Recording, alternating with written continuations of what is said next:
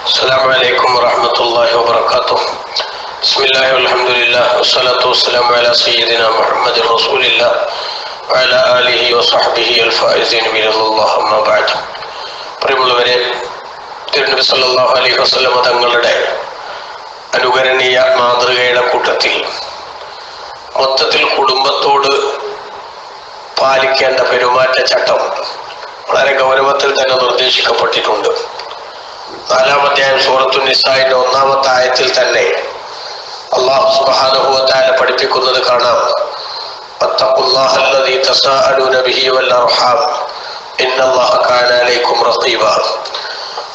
അള്ളാഹുവിനെ നിങ്ങൾ സൂക്ഷിക്കണം. അതോടൊപ്പം തന്നെ കുടുംബ ബന്ധത്തെയും നിങ്ങൾ സൂക്ഷിക്കണം.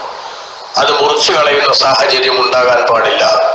കുടുംബത്തോടുള്ള ബന്ധം ഊഷ്മളമായി നിലനിർത്തേണ്ടതിന്റെ അനിവാര്യത ഈ സൂക്തത്തിൽ നിന്ന് നമുക്ക് മനസ്സിലാക്കാൻ സാധിക്കും.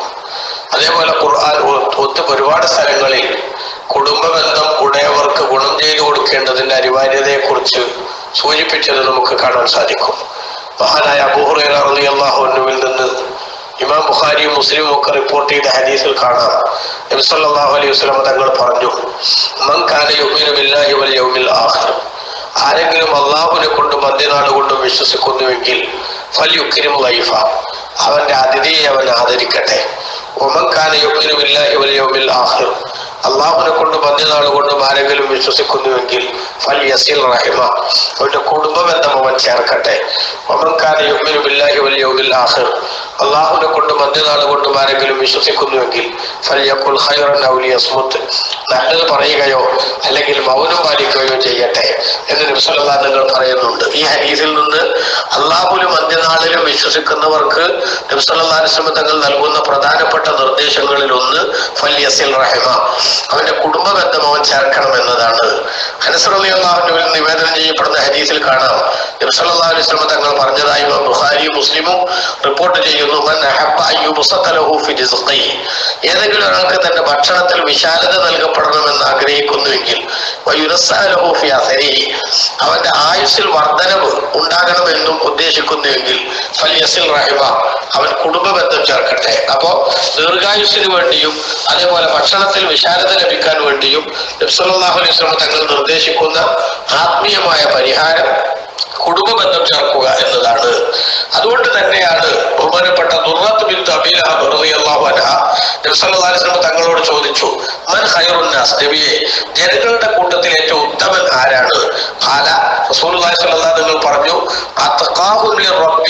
വഅവസലുഹും ലിർറഹിമി വആമുറുഹും ബിൽ മഅറൂഫി വഅൻഹാഹും അനിൽ മുൻകർ നാല് കാര്യങ്ങൾ ഉള്ളവരാണ് ഏറ്റവും ഉത്തമനായ മനുഷ്യൻ.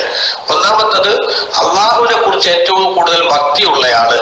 രണ്ടാമത്തത് കുടുംബ ബന്ധം ഏറ്റവും കൂടുതൽ ചേർക്കുന്നയാൾ.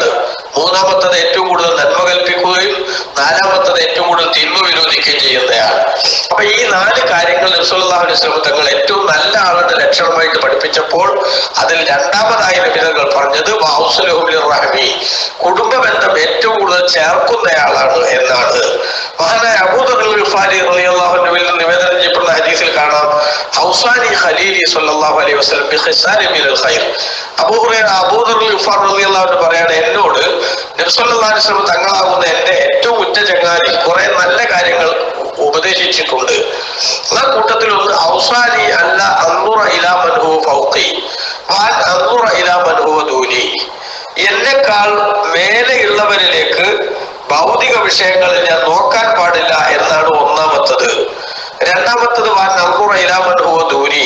എന്നെക്കാൾ താഴെയുള്ളവരിലേക്ക് നോക്കണമെന്നുമാണ് അതായത് ഒരു മനുഷ്യന്റെ ജീവിതം സുഖകരമാക്കാനും അവന്റെ ജീവിതത്തിൽ സ്വസ്ഥതയും സമാധാനവും ലഭ്യമായതുകൊണ്ട് സംതൃപ്തി അടയാനുമുള്ള ഏറ്റവും നല്ല ഒരു സ്വഭാവമാണ് നബ്സല്ലാ നിങ്ങൾ ഇതിലൂടെ പഠിപ്പിക്കുന്നത്. നമ്മളെക്കാൾ ഭൗതികമായി ഉയർന്ന ആളുകളിലേക്ക് നോക്കുമ്പോൾ നമ്മുടെ കുറവുകളൊക്കെ നമുക്ക് പ്രയാസം അനുഭവപ്പെടുകയും എനിക്ക് അത്ര ഇല്ലല്ലോ എന്ന ടെൻഷനിലേക്ക് നമ്മൾ എത്തിക്കുകയും ചെയ്യും അതേസമയത്ത് നമ്മളെക്കാൾ താഴ്ന്നവരിലേക്ക് നോക്കിയാലോ അലഹമില്ല എനിക്ക് നീ എത്രയോ തന്നല്ലോ റബ്ബെ.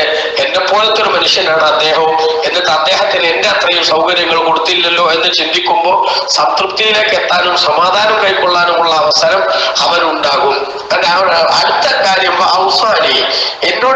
ഹബീബ് സല്ലല്ലാഹു അലൈഹി വസല്ലം തങ്ങൾ ഉപദേശിച്ചു മസാക്കീനി സാധുക്കളോട് പിന്നെ സ്നേഹിക്കാനും സാധുക്കളോട് അടുപ്പം കാണിക്കാനും എന്നോട് വസീയത്ത് ചെയ്തു. സാധുക്കളെ സ്നേഹിക്കണം അതോടൊപ്പം അവരോട് അടുക്കുകയും ചെയ്യണം. ചിലർക്ക് സാധുക്കളെ സ്നേഹിക്കാൻ കഴിയും. എന്തെങ്കിലും സൗകര്യങ്ങൾ അവർക്ക് ചെയ്തു കൊടുക്കണം അത് ചെയ്തു കൊടുക്കും. പക്ഷെ അവരോടൊപ്പം ഇരിക്കാനോ അവരുടെ കൂടെ പെരുമാറാനോ അവർക്ക് സാധിക്കില്ല. എന്നാൽ രണ്ടും വേണമെന്ന് നബിസ്വല്ലാ നിങ്ങൾ എന്നോട് കൽപ്പിച്ചു. എന്റെ കുടുംബ ബന്ധം ഞാൻ ചേർക്കണമെന്ന് എന്നോട് നിമിതങ്ങൾ കൽപ്പിച്ചു. വൈ നതുപറത്ത് അത് പിന്നിട്ട് പോയാലും ചാൽ കുടുംബങ്ങൾ എന്നോട് മുറിച്ചു കളയുന്ന സമീപനം സ്വീകരിച്ചാൽ പോലും ആ ബന്ധം വിളക്കി ചേർക്കാൻ ആവശ്യമായ വിട്ടുപോകുന്ന കണ്ണികളെ ഇണക്കി ചേർക്കാൻ ആവശ്യമായ സമീപനം സ്വീകരിക്കണമെന്ന് നബിസ്വല്ലാ നിങ്ങൾ എന്നോട് കൽപ്പിച്ചു. വാവുസാനി അല്ല അഹാമഫില്ലാഹി ലോകത്തലായി അള്ളാഹുവിന്റെ വിഷയത്തിൽ ഒരു ആക്ഷേപകന്റെ ആക്ഷേപത്തെയും ഭയപ്പെടരുതെന്ന് അഥവാ സത്യം സത്യമായി പറയുന്നതിലും ഉൾക്കൊള്ളുന്നതിലും അതിനെ പരിഹസിക്കുന്നവരോ ആക്ഷേപിക്കുന്നവരോ ഉണ്ടെന്നത് ഞാനൊരു കാര്യമാക്കുന്നില്ല എന്ന് ചിന്തിക്കണം എന്ന് നിബിതകൾ എന്നോട് ഉപദേശിച്ചു. ഔസാരി നക്കൂലൽ ഹക്ക വൈകാന മുറ കൈപ്പേറിയതാണെങ്കിലും സത്യം പറയാൻ എന്നോട് നിബിതങ്ങൾ കൽപ്പിച്ചു.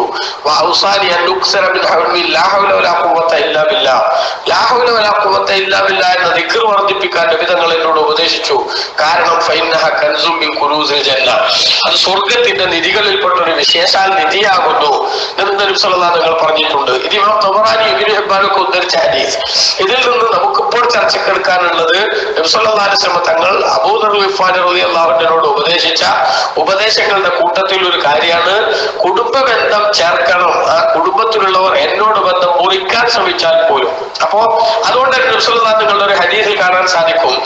വാസ്തവത്തിൽ കുടുംബ ബന്ധം ചേർക്കുന്നവൻ എന്ന് പറയുന്നത് പ്രത്യുക പകരത്തിന് പകരം ചെയ്യുന്നയാളല്ല. മറിച്ച് ഇങ്ങോട്ട് ബന്ധം മുറിച്ചവരോട് കൂടി അങ്ങോട്ട് ബന്ധം ചേർക്കാൻ വേണ്ടി ശ്രദ്ധിക്കുന്നവരാണ് എന്ന് ബഹുമാനപ്പെട്ട നിമിഷമുള്ള നിങ്ങൾ പഠിപ്പിച്ചിട്ടുണ്ട്. അതുകൊണ്ട് തന്നെ കുടുംബ ബന്ധം മുറിച്ചു കളയുന്ന ആൾക്ക് ഈ ദുര്യാവിൽ നിന്ന് തന്നെ വലിയ ശിക്ഷ ലഭ്യമാകുമെന്ന താക്കീദിന്റെ സ്വരം നബ്സല്ലാഹു അലൈഹി സ്വലം തങ്ങൾ പഠിപ്പിച്ചിട്ടുണ്ട്. ഇനി നിങ്ങൾ നോക്കൂ ബഹുമാനപ്പെട്ട അബൂഹുറൈറ അടുത്ത് ഒരു സഹോദരൻ വന്നിട്ട് പറഞ്ഞു യാ റസൂലല്ലാ നബിയെ എനിക്ക് കുറെ കുടുംബങ്ങളുണ്ട്. അവരോട് ഞാൻ ബന്ധം ചേർക്കുന്നു പരമാവധി. പക്ഷെ എന്നോട് അവർ ബന്ധം മുറിക്കുന്നു. ഞാൻ അവർക്ക് നന്മ ചെയ്തു കൊടുക്കുന്നു. പക്ഷെ അവരെനിക്ക് മാക്സിമം ശല്യം ഉണ്ടാക്കുകയാണ്. വാഴലുമാലയും അലയ്യ. ഞാൻ അവരുടെ വിവരക്കേടുകൾ സഹിക്കുന്നതിനനുസരിച്ച് അവരെന്നോട് വിവരക്കേട് കാണിച്ചുകൊണ്ടേയിരിക്കുകയാണ്.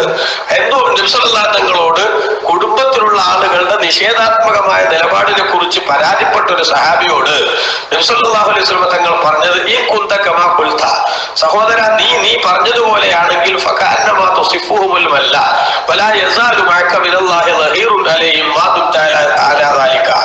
ഈ സ്വഭാവം നീ നിലനിർത്തി മുന്നോട്ട് പോകുന്ന കാലത്തോളം നിനക്കൊരു ശല്യവും വരാനില്ലെന്ന് മാത്രമല്ല അള്ളാഹുവിൽ നിന്ന് പ്രത്യേകമായ സഹായം നിനക്ക് ലഭിക്കാൻ അത് കാരണമാകുമെന്ന് റസൂലുള്ളാഹി സ്വല്ലല്ലാഹു അലൈഹി വസല്ലം തങ്ങൾ പഠിപ്പിച്ചു.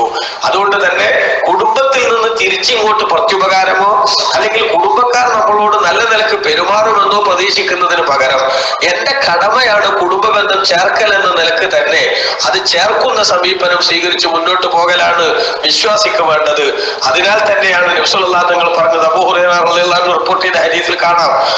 പറഞ്ഞു സലാസും മൂന്ന് സ്വഭാവം ഒരു മനുഷ്യനിലുണ്ടെങ്കിൽ ഹാസബഹുല്ലാഹു ഹിസാബൻ യസീറ.